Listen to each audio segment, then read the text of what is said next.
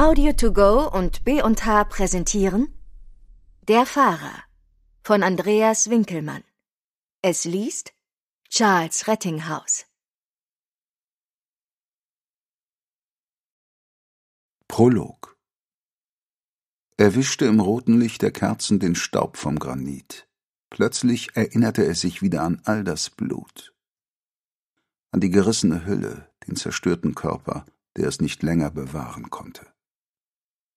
Unaufhaltsam war es zwischen seinen Fingern hindurchgeflossen, hatte seine Hände rot gefärbt, so wie es jetzt das Licht der Kerzen tat, war auf den nassen Asphalt getropft, hatte sich dort mit dem Regenwasser vermischt, um in den Gully und schließlich fortgespült zu werden.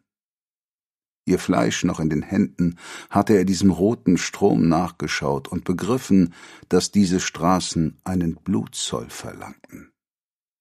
Er stand ihnen zu, heute und für alle Zeiten, und es war an ihm, dafür Sorge zu tragen.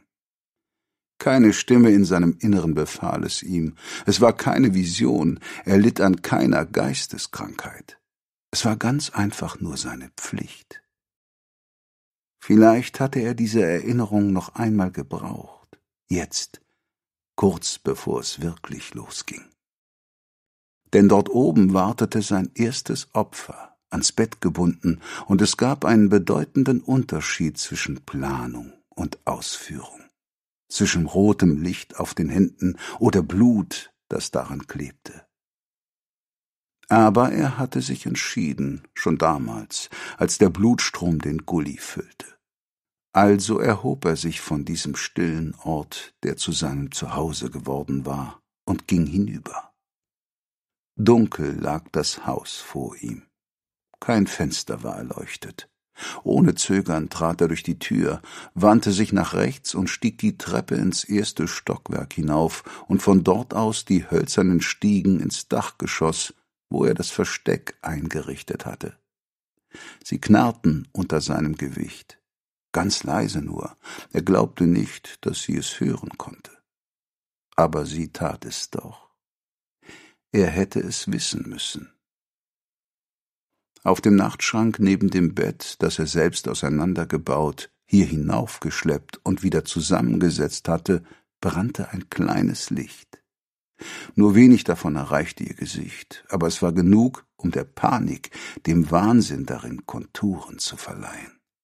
Tief in die Haut eingegrabenes Leiden, die Täler mit schwarzen Schatten gefüllt, in den Augen ein letztes Glimmen. Wer ist da? Bist du es? Ja, du bist es. Ich kann es spüren. Bring sie zu mir. Hörst du? Ich will sie hier haben. Hier bei mir. Sie soll sterben vor Angst. Hörst du?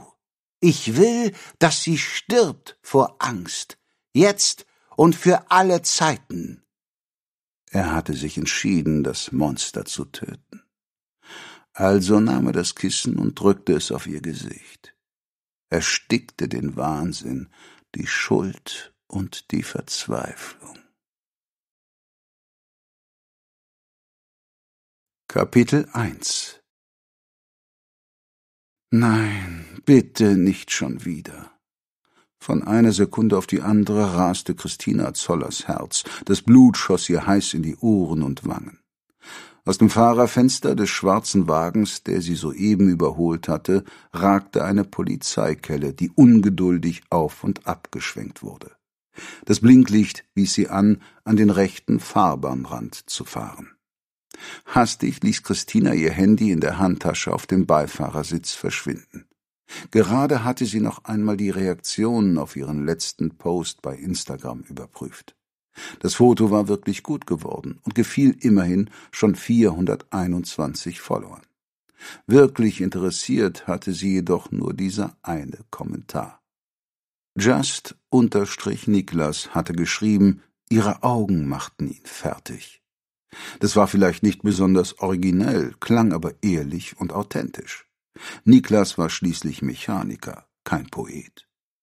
In Gedanken an ihn und voller Vorfreude auf den morgigen Abend war sie wieder